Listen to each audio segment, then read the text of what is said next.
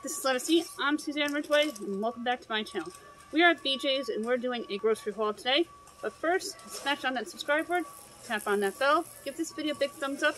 This is a multiple store haul.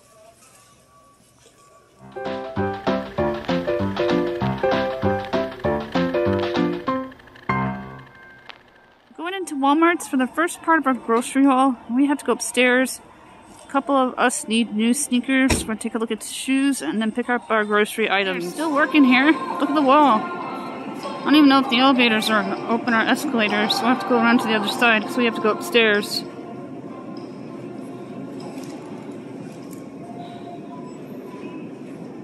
Looks like the escalators are down. They're blocked off. So we're gonna get on the elevator to go up. Okay. are definitely working on the escalators. They have it all blocked off. I wonder when they're going to be back in the running. And this is the largest Walmart in the U.S., Albany, New York. Getting the coffee creamer for $3.82 by Coffee Mate. I'm checking out these No Boundaries for $14.97. See if they have a six and a half. They do way in the back. I want to see if I and try them on. I want a nice white chunky sneakers for walking.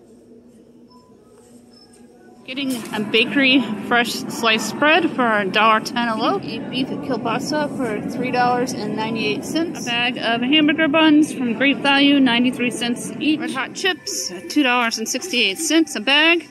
Glade Air Freshener Apple Cinnamon, still 97 cents, cheaper than the Dollar Tree. Going into BJ's for the second part of the grocery haul. Getting a case of the 100% juice for $12.49 for my kids' lunch bags. A case of the Nesquik for $9.89 for my kids' lunch bags.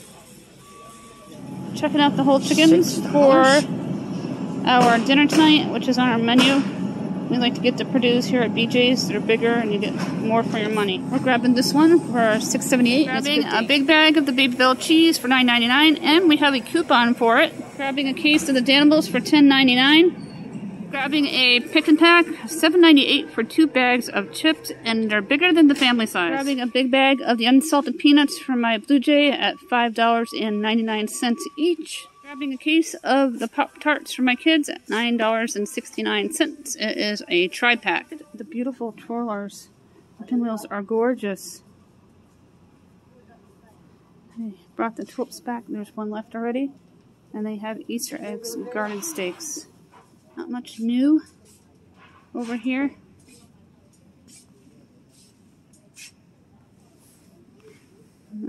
Their big flip-flop selection.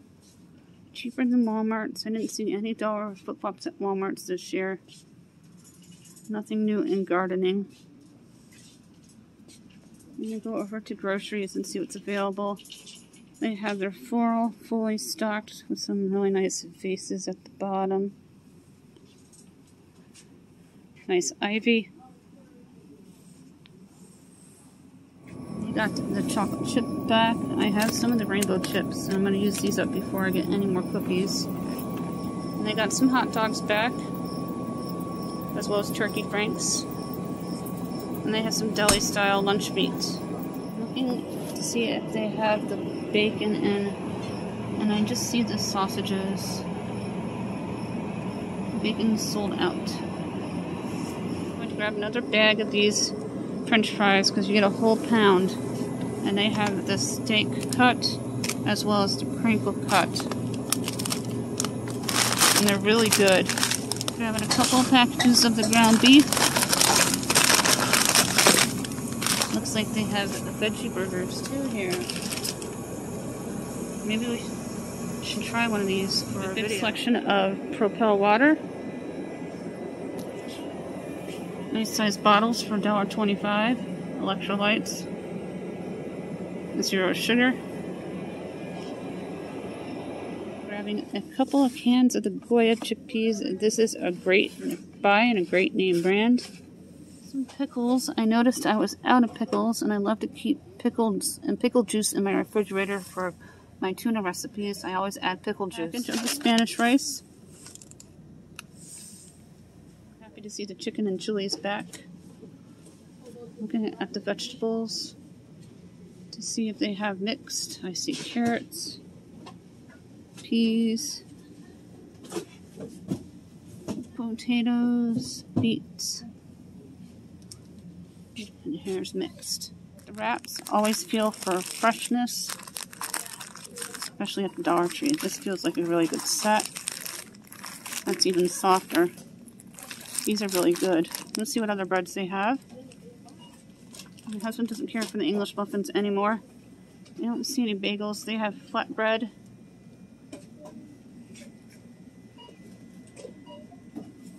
going to grab a package of banana nut, maybe, or peanut butter. I'm looking at their baked goods. They have brownies down here, Duncan Hines. Let's get a box of brownies. A great tip. In the summertime, when you go to the beach or the drive-ins, grab one of these bags for hot and cold for your food. They work really well. Or when you're moving or you're going somewhere on vacation, I always have two of them in my car. Fresh has some new clip lock. I love these containers. They're great for decanting.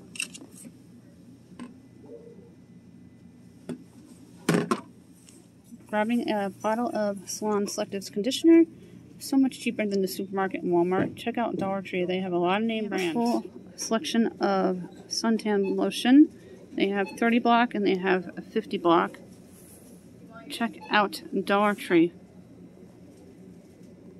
On the left, we got the Nesquik and the Danimals at BJ's. Capri juices. The water we picked up at Aldi, as well as the onions here. Coffee Mate was at Walmart as well as the kielbasa, the hamburger buns, and some of the French sliced bread. Got a pair of sneakers for my kid. There was only one size, one both the same size, so I'll just get mine another time. Pringles at Walmart, as well as the Red Hots. At BJ's, we got the twin pack, pick and pack. You get two bags for a good price. They're bigger than the family size.